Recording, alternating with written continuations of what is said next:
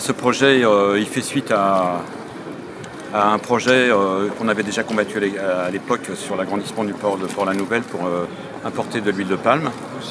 Et nous, on s'est impliqué dans un collectif qui s'appelait Nos Palmes. Et ce, projet, vu l'aberration sur l'huile de palme, les réactions, les réactions qu'on a, qu'on a- qu'on a organisées, il a été annulé et on nous a ressorti un projet d'agrandissement du port qui est basé. Il y a eu, un, grand, débat public puisque ce projet était déjà prévu à plus de 300 millions d'euros, donc il y, avait un grand débat, il y a eu un grand débat public. Il, était basé sur deux, il est basé sur deux piliers, sur l'augmentation des exportations de céréales, ça c'est le volet agricole, et sur le triplement des importations de pétrole. mais surtout un port, un port pétrolier à quai dont on n'a absolument pas besoin.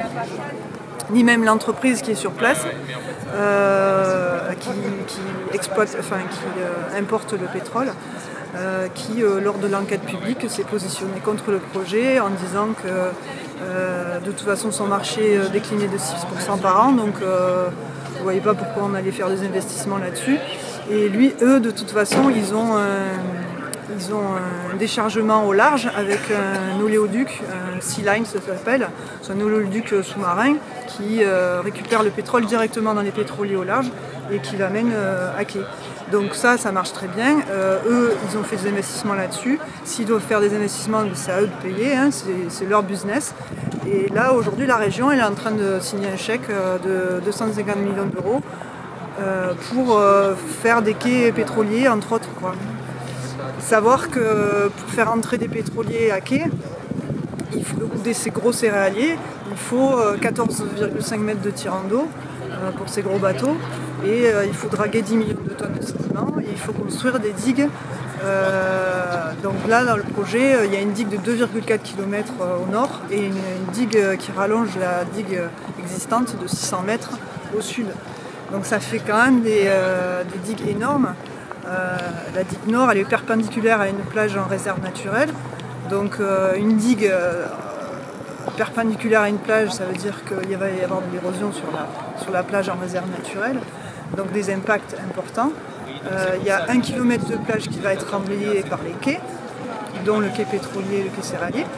Euh, dont on n'a pas besoin du coup, puisque euh, aujourd'hui ça fonctionne très bien tel que c'est. Et en plus, euh, le port est la seule embouchure avec l'étang de la seule embouchure de l'étang de Bage-Sijan, quand- qui est un milieu lagunaire sauvage magnifique et dont l'eau, la qualité de l'eau au- augmente grâce notamment à des investissements locaux sur les stations d'épuration, etc et, euh, et qui est un, milieu où les poissons euh, se, se reproduisent pour ensuite aller en mer. Donc, euh, voilà, ça fait partie des zones humides sensibles. Et le fait de, fermer le port avec des grandes digues, ça va modifier les échanges entre la mer et l'étang. Voilà. Et ça, c'est des impacts vraiment très importants. Promettent d'augmenter le trafic de pétrole, d'augmenter le trafic de blé, et ils justifient ça. Enfin, voilà. Mais, mais c'est totalement, farfelu. Voilà. Même l'entreprise sur place, elle n'y croit pas. C'est avec nos agriculteurs que nous devons bâtir le nouveau modèle de développement durable pour demain.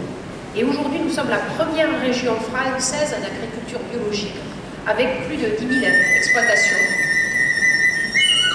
Et je rappelle que nous avons également la Alors, messieurs, vous n'avez pas perturbé le déroulé de la assemblée plénière. Voilà. Messieurs, merci de bien vouloir quitter le public si c'est pour perturber la pétrolier géant. Port la nouvelle. Personne n'est insensible. Du côté de Narbonne. Le grand danger quoi Un mirage pour l'emploi Le grand port, c'est quoi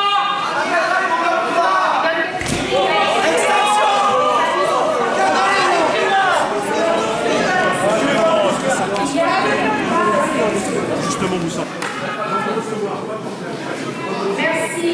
Soit de nous asseoir, de rester le temps de soit vous quittez le public.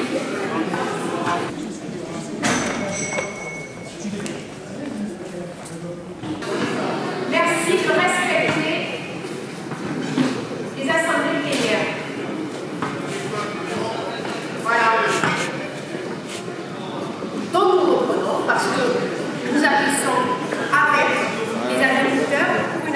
durable. Sur la question du blé dur, la production, elle, a chuté déjà d'un quart depuis, depuis 10 ans. Donc quand on parle de la doubler, c'est complètement illusoire, c'est complètement fou. En plus, c'est euh, basé sur une agriculture de monoculture. Nous, on dit qu'il faut rediversifier, il faut refaire des protéagineux. Euh, l'agriculture d'exportation, elle marche que sur les subventions. Euh, et dans la prochaine PAC, les subventions, elles vont baisser. Économiquement, c'est un projet qui ne tient pas debout. Alors après, ils ont rajouté au dernier moment ces histoires d'éoliennes euh, euh, en mer. Euh, nous, très, simplement, on n'est pas contre ces éoliennes en mer, on n'est ni pour ni contre d'ailleurs. On dit simplement qu'elles pourraient être montées sur le port de Sète. Le, port de Sète est en perte d'activité. Il y a un quai de 140 mètres de long qui pourrait tout à fait satisfaire à moindre frais le montage de ces éoliennes. Donc ces éoliennes, quand on nous parle de port de transition énergétique, c'est complètement dingue. C'est un port qui est fait pour... Et maintenant, le dernier truc, c'est qu'on va importer du charbon, du coq, faire marcher euh, Malvésie euh, pour, un, autre, projet euh, industriel. Donc ce port n'est absolument pas le port de la transition énergétique, c'est un, port climaticide, complètement climaticide. Et nous, au niveau agricole, on demande que ces subventions, tout cet argent public, il soit redéployé pour installer des jeunes en maraîchage bio, en arboriculture, en élevage, etc. sur le territoire.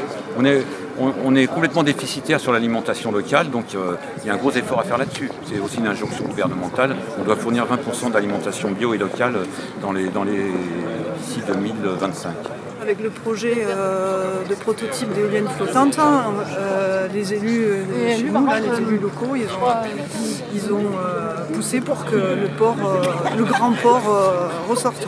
Voilà. Et ça a justifié tout le reste. Au secours Face à l'urgence climatique, nous crions au secours. Face à l'incohérence de la politique écologique de la région, nous jouons du pipeau. La terre brûle et la région finance un port pétrolier géant. La biodiversité s'effondre, mais la région détruit un kilomètre de plage sauvage qui finit sous le béton. La région communique partout sur la transition écologique, mais, mais l'essentiel de ces investissements dans ce véritable écocide, ce véritable climaticide, nous sommes là pour demander de dire la vérité. Dire la vérité, c'est dire que ce grand port pétrolier est inutile. Dire la vérité, c'est ne plus dire que ce port est nécessaire à la production d'éoliennes en mer. Dire la vérité, c'est dire que la destruction des espèces protégées n'est pas compensable par une réserve naturelle qui existait déjà. Les espaces naturels s'amenuisent inéluctablement. Nous vous demandons d'agir, de réagir, de cesser cette fuite en avant, cette course vaine après cette croissance à la fois destructrice et moribonde. Des grands projets comme celui de Port-la-Nouvelle sont des mirages pour l'emploi. Peut-être qu'ils ont ailleurs le peu ici. Le grand port de Port-la-Nouvelle est un véritable carnage pour le, pour le climat. Nous sommes extinction Réveillons Extinction Réveillons Extinction Réveillons Le grand port c'est quoi? Un mirage pour l'emploi Le grand port c'est quoi Un mirage pour le climat le grand port c'est quoi? Un mirage pour l'emploi Le grand port c'est quoi? Un mirage pour le climat Justement, l'Assemblée plénière euh, présente, un, présente un plan. Euh, euh, ils ont tout un discours sur l'écologie, sur le climat, etc. Il y a un plan pour l'agriculture durable et l'alimentation durable qui, est, qui, est présenté, qui est soumise au vote. Et nous, on dénonce, on dénonce, ce double discours. Il y a un discours euh, euh, écolo, euh, voilà, pour le climat, pour la, pour pour l'alimentation. maintenant, tout est durable maintenant. L'alimentation, même le port, maintenant devient le port de la transition énergétique. C'est quand même une aberration. On, va, on, va, on, va, on va essayer de doubler les importations de pétrole et on nous parle de, port de la transition énergétique. On l'a vu sur d'autres combats, Sivens, Notre-Dame-des-Landes, d'autres d'autres projets. Il est toujours temps. Là, actuellement, ils ont commencé à, faire les travaux sur la Grande Digue Nord. Euh, donc en mer, ils font du dragage. Et puis, ils ont commencé à faire des remblais sur la plage. Et, euh, mais là, là aujourd'hui, en plénière, euh, il y, a moyen toujours de demander un moratoire, donc un arrêt des travaux. clairement, Carole Delgat a dit qu'on n'en veut pas. Il euh, y a moyen de faire autrement, de, mettre en place des digues flottantes, de mettre en place des digues à caissons qui sont euh, modulables, qui peuvent être déplacées dans le temps. Euh, là, ce sont des digues par enrochement avec des rochers de 2 acitones qui, pour certains, viennent d'Italie en bateau. Et, une fois que les, rochers de 2 acitones ils sont posés au fond de l'eau, ben, plus les bouger. Quoi. Alors que des digues à caissons, on peut les bouger. des digues flottantes, évidemment, on peut les bouger aussi. Donc c'est plus modulable, c'est plus résilient dans le temps parce que les perspectives, là aujourd'hui, les perspectives économiques du projet, elles sont farfelu totalement. Et sur les, emplois, ils promettent 3000. On a même entendu des chiffres plus gros que ça, mais bon, ils, me promettent 3000 emplois. Alors, mais les gens, évidemment, sur, place, ils, ont les yeux qui brillent. Mais en fait, c'est ça aussi, c'est du pipeau, quoi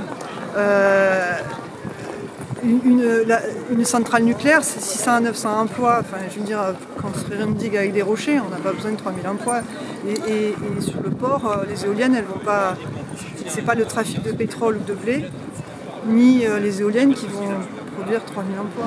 Nous sommes extinction Réveillon Extinction Réveillon Extinction Réveillon Le grand port, c'est quoi?